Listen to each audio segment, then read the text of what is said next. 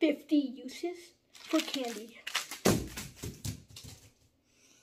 Oh shit.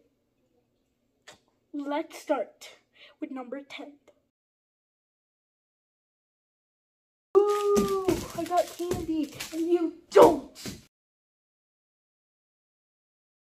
Oh, I have a Kit Kat Chunky here, but it says to share with two and only one person. Maybe share with someone else. Hmm. Or maybe I should share with a friend. Oh yeah, that's what you just said. Okay, well, I'm gonna go and find a friend.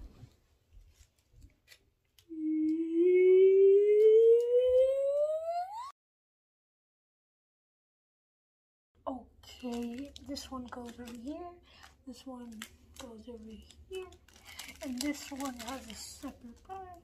This one goes here. Oh, it's perfect. Oh, no, what the hell? Did you know that we can actually just ship candy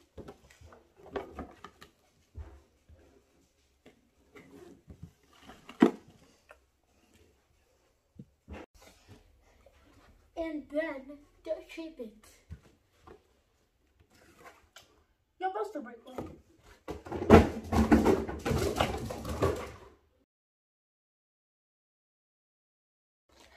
Oh, this drink isn't that good. So, maybe coffee crisp itself.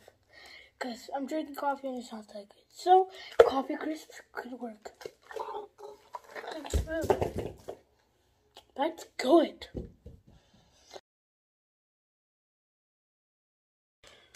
Okay, almost done. Almost done. And, and, damn it! You think you can beat me? Huh. Fuck.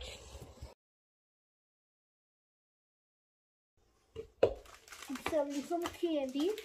Five dollars for a bar. What do you mean you don't like it? You you gonna have to like it.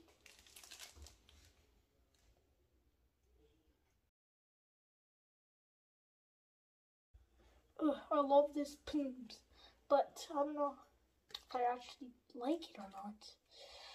Hmm. I know what could fix it. A Kit Kat.